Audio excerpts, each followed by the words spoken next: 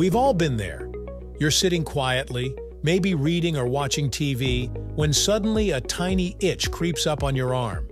At first, you try to ignore it, but it nags you, growing more and more impossible to resist. Finally, you give in, scratch it, and instant relief. But then, strangely, sometimes the itch comes back even stronger. It's such a common part of being human, but if you think about it, itching is actually a pretty bizarre sensation. Why does it exist in the first place? Why does it feel so different from pain or tickling? And why on earth does scratching feel so satisfying, even when it sometimes makes things worse? Today, let's dig into the science of what makes an itch feel itchy and why our brains reward us for scratching it, right here on History of Simple Things.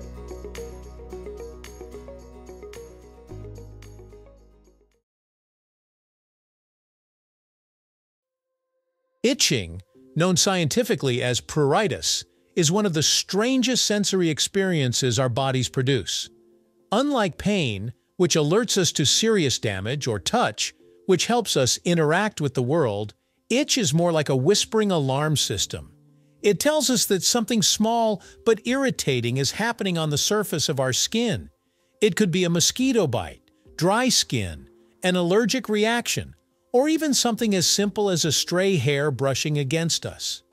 In evolutionary terms, itch likely developed as a way to warn us about tiny threats, like insects or parasites, that might harm us if we don't brush them away. That's why the urge to scratch is so irresistible. It's our brain's way of saying, deal with this now.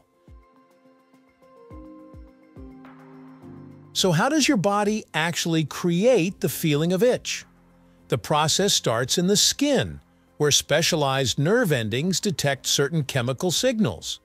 When you get bitten by a mosquito, for example, your immune system releases histamines, a chemical that causes inflammation. Those histamines activate itch-specific nerve fibers, which then send a signal up through your spinal cord and into the brain. What's fascinating is that itch isn't just a weaker version of pain, as scientists once thought. For a long time, researchers believed pain and itch were part of the same pathway, just on different levels. But newer discoveries show that itch actually has its own dedicated nerve fibers, known as pruriceptors. These are specialized to detect itchy sensations and carry those messages along a unique route. In other words, your body has a whole sensory system devoted just to itch, separate from pain or touch. That's why the feeling is so distinct. It's its own category of sensation. Now here's the part we all know too well, scratching. Why does dragging your nails across an itchy spot feel almost euphoric? When you scratch, you're essentially causing mild pain or irritation to the skin. That pain temporarily overrides the itch signals traveling to the brain. It's like turning up the volume on one channel to drown out the noise on another.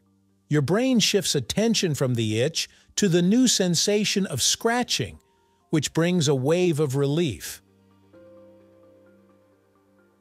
But it doesn't stop there. Scratching also triggers the release of serotonin, a chemical in the brain associated with pleasure and well-being. That's why scratching an itch feels oddly rewarding, even though you know you might end up making the skin more irritated. In some cases, scratching can even become addictive, creating a cycle where you keep going back to it because your brain craves that momentary rush of relief. Of course, scratching isn't always helpful. Sometimes it makes things much worse. If you've ever scratched a mosquito bite until it turned red and swollen, you know exactly what I mean. The problem is that scratching causes tiny amounts of damage to the skin, which can release even more inflammatory chemicals. Those chemicals can intensify the itch, creating what scientists call the itch-scratch cycle. The more you scratch, the more it itches, and the more it itches, the more you want to scratch, it's a biological trap that can leave you miserable. This cycle is especially tough for people with chronic conditions like eczema or psoriasis, where the itch can be overwhelming and constant. In those cases, scratching doesn't just bring temporary relief, it can actually worsen the underlying problem by breaking the skin and inviting infections. So while scratching feels good in the moment, it's not always the smartest solution. Here's another strange fact. Itching can be contagious. If you've ever seen someone else scratching and suddenly felt itchy yourself, you've experienced this phenomenon. Just talking about itch can sometimes make people want to scratch. Scientists believe this is linked to the way our brains mirror other people's sensations, almost like a form of empathy. The same regions of the brain light up when we see someone else scratching as when we itch ourselves. This might have once been useful for survival, since if one person noticed parasites or bugs, others nearby would be prompted to check themselves too. As annoying as itching is, it serves a real purpose. Think about early humans sleeping outdoors, exposed to insects and parasites. An itch would have been a life-saving alarm, telling them to swat away a mosquito carrying disease or remove a crawling bug before it burrowed into the skin. Even though most of us today aren't fighting off parasites on a daily basis, that ancient system is still wired into our nervous system. It's a reminder that sometimes the smallest signals in our body are just as important as the big ones. At the end of the day, itch is one of those quirks of biology that makes us human. It's irritating, sometimes unbearable, yet also oddly satisfying when we give in to the urge to scratch.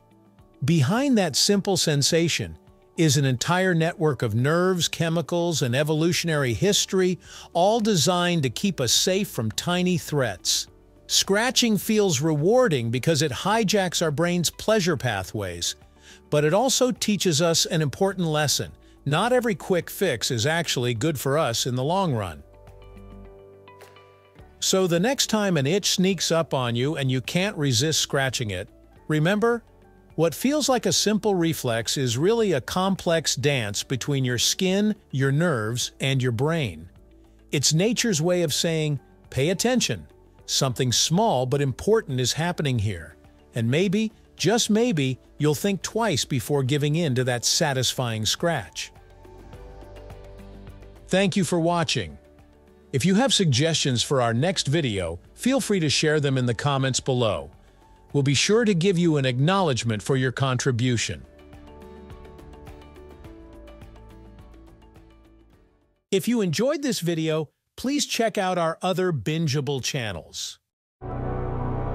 Thank you for joining us on this journey through the history of simple things. Don't forget to like, subscribe, and stay tuned for more stories woven through the smallest details.